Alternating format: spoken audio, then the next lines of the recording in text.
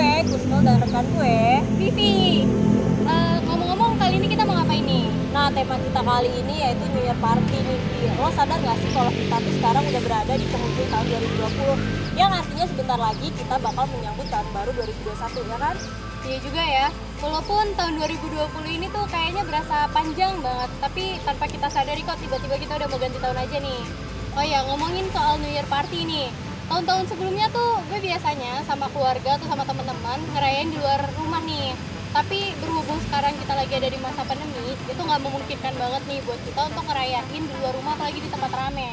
Nah bener banget, gue juga sih kayaknya tahun ini gak bakal keluar rumah sih buat ngerayain tahun baru. Nah tapi jangan sedih dulu nih Vi Karena kita bisa, karena kita masih bisa ngerayain tahun baru di rumah. Kayak misalnya ngadain pesta kecil-kecilan aja di taman belakang rumah kita Atau enggak di taman komplek kalau misalnya diperbolehkan Kayak walaupun kayak sederhana aja tapi tetap istimewa, tetap uh, menarik, tetap seru pokoknya. Wah keren banget tuh idenya. Tapi itu gimana tuh caranya? Soalnya gue belum pernah nih ngerayain tahun baru sendirian gitu. Soalnya kayak dekor-dekornya tuh pasti ribet banget susah gitu. Kira-kira ada nggak sih referensi yang gampang yang simple gitu? Tenang aja sih gue ada ada ide kreasi. Tapi sebelum kita dekor mendekor DIY punya ide kreasi nih bikin bahan buat uh, dekor mendekornya nanti. Nah buat DIY lovers yang punya niatan buat tahun baru di, di rumah kayak gue sama Vivi bisa banget nih buat jadi referensi kalian. Wah kreasi apaan tuh? Jadi penasaran banget. Jadi penasaran banget kan ya DIY Lovers? Yuk langsung aja kita buat kreasinya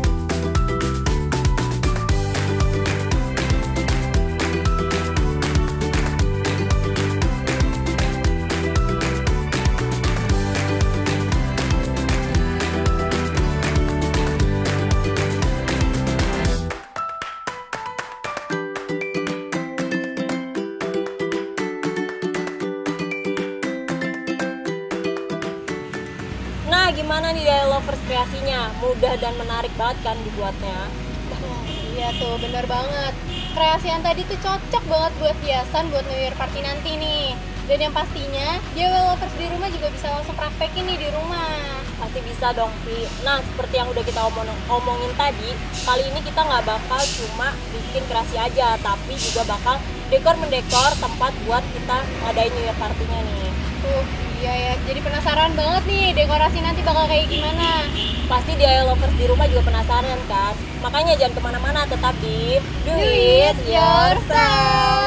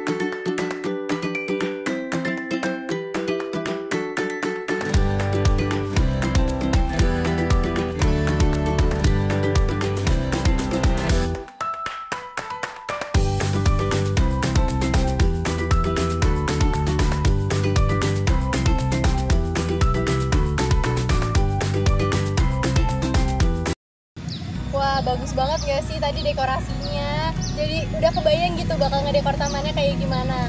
Ditambah lagi nih, alat sama bahannya tuh gampang banget dicari dan juga gampang banget dibuat. Sama kreasi yang tadi nih. Nah, kreasi yang tadi tuh juga bisa ditambahin buat hiasan dekorasinya nih. Iya bener banget sih, gue jadi makin percaya diri buat ngerayain tahun baruan di rumah sendirian Nah gue juga makin gak sabar nih buat dekorasi taman belakang rumah gue Eh tapi kayak ada yang kurang gak sih? Kan tadi kita udah ngasih tutorial nih buat dekorasi, buat bikin hiasan Nah kira-kira outfit apa yang cocok buat gue pakai pas nanti New Party Hmm, masalah outfit mah gak usah khawatir karena dia bakalan ngasih referensi outfit yang cocok untuk kita New Year Party nih buat kita semua. Wah gimana tuh sih? Penasaran kan? Penasaran Penasaran kan? Tapi setelah yang satu ini ya, jadi untuk DIY lovers di rumah semua jangan ke mana-mana. We'll be right back.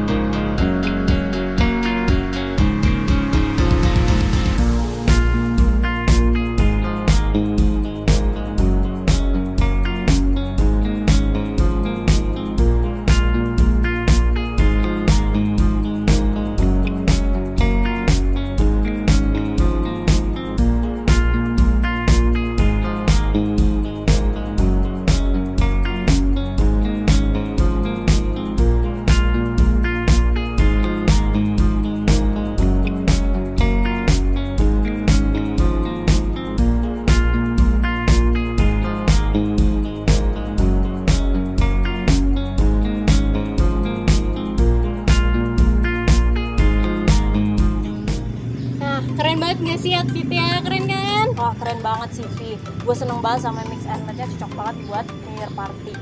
Nah iya bener banget tuh. Eh, dari tadi kita asik banget ya ngobrol sampai-sampai nggak terasa nih kalau kita udah ada di penghujung acara. Wah sedih banget sih Vi Tapi semoga pembahasan kita kali ini bisa bermanfaat buat DIY lovers di rumah. Dan jangan lupa buat praktekin eh, apa yang sudah kita kasih tahu tadi Tutorialnya jangan lupa dipraktekin ya. Nah iya, tapi jangan khawatir nih Karena DIY bakalan balik lagi di episode selanjutnya Yang pastinya dengan tema dan dengan kreasi yang lebih menarik dan lebih kreatif lagi nih. Jadi untuk teman-teman semua tetap stay safe dan jangan lupa patuhi protokol kesehatan yang ada ya. Dan jangan lupa juga pantengin eh, sosial medianya eh, 5TV UPN VJ Karena bakal ada informasi-informasi yang lebih menarik lagi. Gue, Kusnul, dan rekan gue. Vivi pamit undur diri dulu ya. Jangan lupa untuk like, comment, subscribe, dan share ke teman-teman kalian semua See ya, See ya, DIY DIY lovers.